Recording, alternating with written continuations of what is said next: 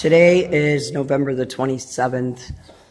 It is 2:30 a.m. in the morning and the or sorry, today's Saturday, November the 30th at 2:30 in the morning. On the 27th, um, my tenant was moving out of here and I have to bring this forward. I'm going to start reporting everything and putting this out there. I can't keep all these secrets in my head. I can't. I can't sleep at night knowing all of this stuff. Um, we have quite a few different fire hazards in the building um, between the fire doors, the fire handles, tenants being left with fire hazards, now smoke, uh, non-working smoke alarms. And the reason I'm over here by our elevators, this is building 1132. Um, we've had quite a few different issues, and the fire department has come over and over and over. Sometimes I feel like it's a waste of time and money for the fire department because our emergency line, nobody can be bothered to get up and come and check on the tenants. They leave it to go to an answering machine. Our different cultures, when they call, they don't know. We had a man stuck in the elevator tonight. He was Nepalese. That's all he could tell me um, here on the first floor in this elevator.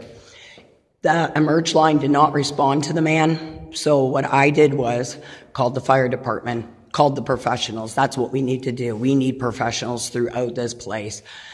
Um, from there, they did get him out, but the re- the lack of response, the lack of respect for tenants, the lack of respect for human life at that. Um, I bring you over to this door here because on the 27th, this door handle, like for about two weeks, was broken. And with it being broken, a lot of tenants coming in and out of this door. Somebody was moving. All of a sudden it locked. You cannot, you could not go out it. You could not come in it. So I called the main office, went to an answer machine. And yes, in both these messages, I asked them, well, basically I told them they had a half an hour to get over here, fix this fire door, which is beside our elevators, one of our main fire doors. So finally, with that, sorry, within that half an hour, or I was calling the fire department from there because this is very unacceptable. Yes, I was upset in it. My emotions are running high from this, from the secrets I hold in my head. Um, from here, about 20 minutes later, I leave, I go, I had to go. I come back. One of my neighbor tenants is standing here on this side of the door.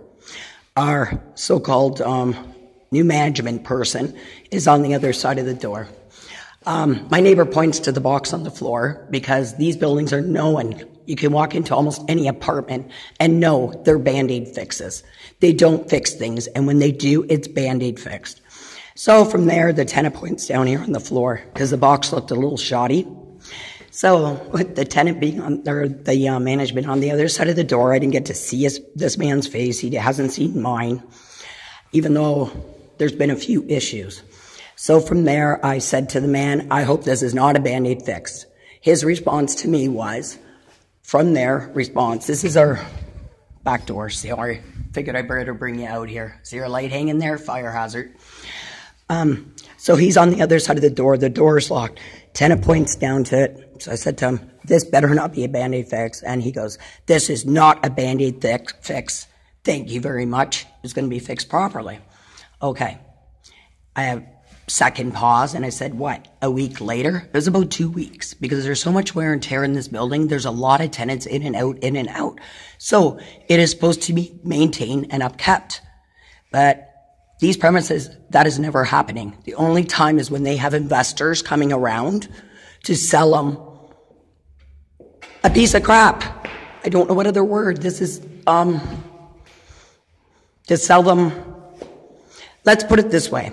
Mr. Pedro Cabrera, Q Residential, their quote, it's quoted by my reliable resources that Mr. Pedro tells his employees, we are selling Porsches, but we're really giving out Pintos.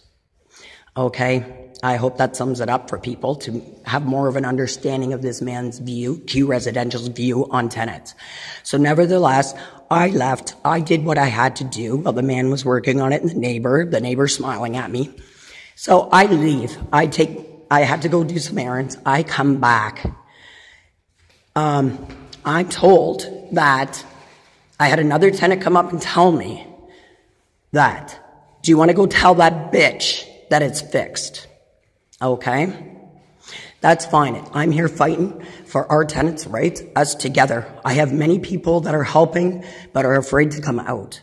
So, nevertheless, all these little things that people are doing, it's great. Please, we have to keep doing this. We have to expose this.